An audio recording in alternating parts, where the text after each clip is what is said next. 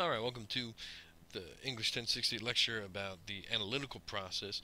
This is just, even though you've been doing a lot of analysis with your homeworks, with your essays, you know, I just want to kind of get a little bit more into exactly what we're doing when we analyze because as I showed you with the most recent homework with the sources we really have to apply the analytical process when we're researching it's very important so what do we do, right? So the best word, right, if we were going to look for synonyms, right, is a breakdown, a dissection, right? An analysis is a lot like dissection. You divide a text or an event or person, right, because we can analyze people, into its basic components. In the academic setting, most analytical papers involve some sort of close reading of literature, film, music, history, theories, right? Any idea or concept can be closely read, can be analyzed. And we're breaking it down. So what's important, and this is where we get into crucial concepts. To analyze something is to ask what it means, right? And that's what we really want to look for. When you're researching, right, what do these sources mean for your argument? What do they mean overall? An analytical essay answers how something does what it does or why it is as it is. Now, even though your research project is heavily evaluation based, you have to apply the analytical process to most of your supporting paragraphs. You're going to be giving evidence. You're going to be you know giving us constant support. You're going to be asking these questions of how and why, right? How does this field benefit us? Why does this field exist, right? So you're really going to be asking very important analytical questions as well as evaluative ones. So when we get to kind of a thesis statement, uh, and, and you could really turn essay 4 into an analytical essay beyond evaluation. A thesis statement and, and, and an analysis paper should be answering again a how and why question. So a strong thesis makes a claim about the subject, right, that needs proving. It provides the writer and reader with a clearly focused lens through which to view the subject. And so an analytical thesis explores the purpose and reason for the way in which a work, idea, or event is constructed. And you could always see, you know, and hopefully, right, you know, as you're thinking about essay 4 in the annotated bibliography, this is exactly what you're doing with your major, right? You could easily turn the research project into an analytical paper. And so, because you're exploring the reason for a major. So, it investigates the how and why behind the functioning of all components. Go back to the thesis lecture. I gave you a good example of an analytical thesis. The life of a typical UNCP student is characterized by time spent working at school, uh, excuse me, working a job, going to school, and socializing with peers. Right? Even though this is probably a very agreeable statement, most of us would agree, it still has a degree of uncertainty, right? This author still has to prove to us what the hell a typical student is, right? What a UNCP student, right? A typical UNCP student is. And then how their lives are characterized by these three major factors job, school, and fun, right? And so, even though this is not a, you know, aggressively debatable idea, it still needs proving and this is what analysis does. It breaks down, in this case, the life of a typical student. So there's a further breakdown of what the hell a typical student is as opposed to an atypical student. So there's already a, logical breakdown there.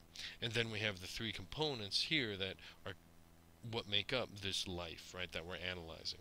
And so we have to prove still that these categories exist. So the writer first needs to establish a criteria what exactly is a typical student, right? Although the statement is more explanatory, a writer still needs to prove that these three components exist in that typical student's life. The writer will also need many concrete examples that prove that these conditions in fact exist for many UNP students. So excuse me, UNCP students. So it's crucial that we recognize that the analytical process is an investigative one, but it's also an argumentative one. When we analyze, we are breaking down. And what we're doing when we analytically argue is showing how that breakdown works. And so a weak thesis either makes no claim or is an assertion that doesn't need proving. It's a fuzzy lens which will not really help the writer or reader, of course, be guided by a better understanding of the subject. And that's the whole purpose, right? We want to be guided to a better understanding of your field of study. So most weak thesis statements suffer because they're overly broad or really not specific enough. So let's look at an analytical thesis that's weak, right? It will have a broad noun, some kind of weak verb. There might even be an evaluating adjective or just direct objects that are vague. And so here's a good example, right? Today's economic situations have many factors.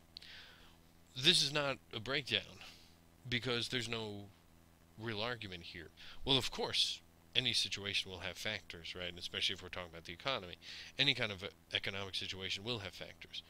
We don't even know wh- where we're talking about, right? We don't know what country's economy. We, today is a very vague noun. Is are we ta- really talking about you know 2015? Or where are we talking about? And when are we talking about? So the lack of detail and specificity makes this thesis underdeveloped and clearly uninteresting.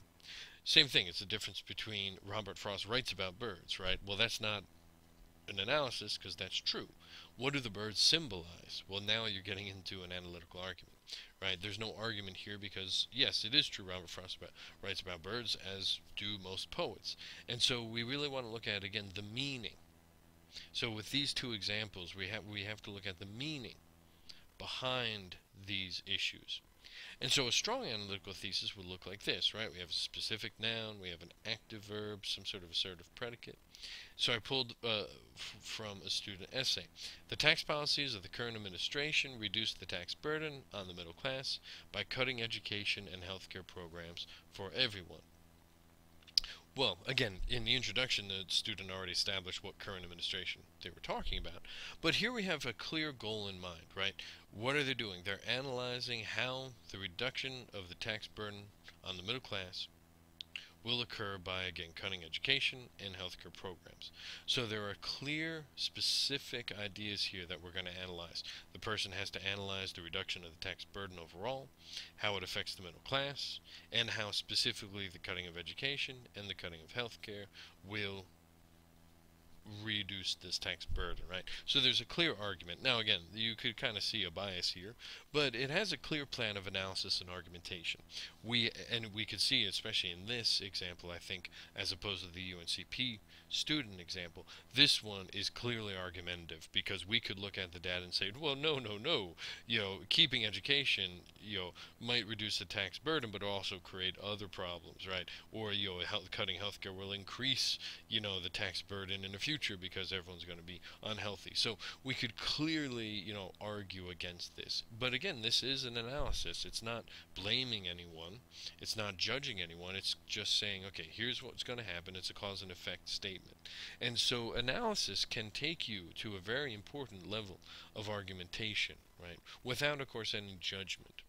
So the best way to remedy any problems with overgeneralization is always move toward that specificity in word choice, sentence structure, idea. All these words are and phrases are very helpful in an analysis in order to for the purpose of, by, because, which demonstrates that, which reveals, which is significant because, right? These phrases should really become part of your regular vernacular because they show you're answering a how or why question, right? Th- this major is helpful because of this, right? The fact that everyone gets a job demonstrates that blank, blank, blank, right? Um, so, you know, these type of statements, right, excuse me, these type of phrasings, right, will really increase the argumentative stance in your essays, right? And having these, especially in your topic sentences, will help increase that argument. Now, I'm going to give you an example of a thesis statement for a film analysis, and I want us, uh, you know, who, who are currently attending, to kind of just kind of Oh, hold on. I need to a I need to uh, plug in my battery. Hold on for a second. And it doesn't matter. By having the main character, Bryan Mills, Liam Neeson, avoid any punishment for killing several dozen people in Taken, Pierre Morel, who is director, reinforces the cultural assumption that America knows best and should be allowed to police the world without any consequences. Good.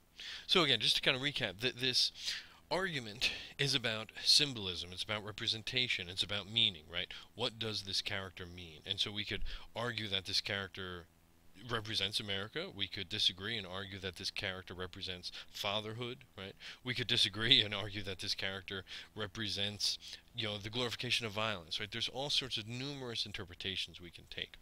What we're really getting at here is subtext, and this is a crucial concept because not all people understand subtext, and this creates a lot of communication issues. So regardless of approach, right, what we're doing when we analyze is looking for subtext. That's our goal. Subtext is the underlying meaning behind what is said or written. And that is a concept that shouldn't exist, but it does because we speak in metaphors. You know, meta, you know, subtext exists, right? Metaphors could not exist without subtext, right? If we were strictly a literal denotative species, metaphors can exist. Idioms couldn't exist, right? All sorts of things that we do with language couldn't exist. I could never tell you, you know, I could never say, oh, excuse me, I cut the cheese, right? Because that that makes no sense, right? There's subtext connected to our language, and it pisses people off. And some people who have social anxiety disorders, uh, for example, like Asperger's, don't really understand, or autism, they don't understand subtext, and so there's a, a, lot of issues there with communication. If you ever watch Big Bang Theory, Sheldon is a perfect representation of someone who doesn't understand subtext. So you know, it, it's it's a crucial concept, though, for people who are going to be in the real world. And so, what it is, it's the implicit, oftentimes metaphorical meaning. So, subtext is the meaning we derive from what is not directly stated or presented, which is again is a crazy concept. If I if I give you words, right? If I give you a sentence full of words, those words should mean what they mean, right? They should just mean always what they mean. The best example I could give you, and you know this already, and if you're in a relationship, you've communicated in subtext all the time. If I, like, let's say at the start of this session, and everybody asked me how I was, and I just go, well, I'm fine. Right? You know that I'm not fine because of my intonation. You don't even have to see my body language. You know that something's amiss because of my tone, right? Oh, I'm fine, right? You, you know something's wrong. But again, I'm lying to you because I, you know, I technically said I'm fine, but you know that I'm not fine because of my tone, my you know filler word or filler sound right? You know something's amiss. And this is very crucial because it shows us how much we are geniuses. We, we really are you know very you know genius like at many moments in our lives because we can understand these kind of high concepts of subtext. We encode subtext to understand it and that's what's crucial. Again words should mean what they mean but they mean more and and this is what's a very interesting concept. And so when we get to issues of exercising our analytical brains, the, these are very important concepts. The best example I could give you is a personal example that I have encountered in my life. Uh, but in writing and speaking situations, right, we could easily find subtext through the implication aspect. This is a perfect question. What could you possibly do with an English degree? So let's think about this a moment for those of us in the room. Is this a positive question or a negative question? What's the purpose of this question? No, because we don't have her telling us, and this is why you know why it's a good um, scene in terms of subtext because you know Rachel doesn't say you're a stupid father, dad, or you're a terrible father, dad, or you're an uncaring father. How do we know, right? Good. Right. So he doesn't know his daughter, right? And so, the, and this is what is important, right, about this scene, right?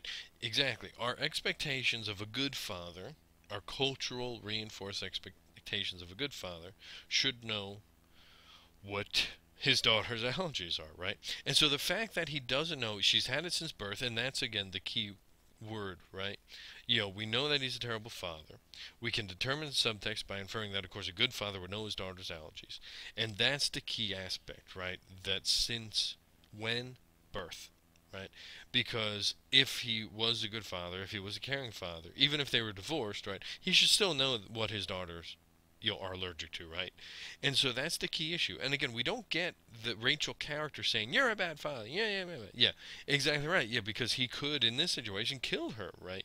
And so the the the, the realism and the danger here further reinforces us as audience members reinforces the idea that this guy is a jackass, right? That this guy's a bad father. But again, what's important about this scene is she doesn't say, You are a bad father, Dad, you're an asshole, you almost killed me.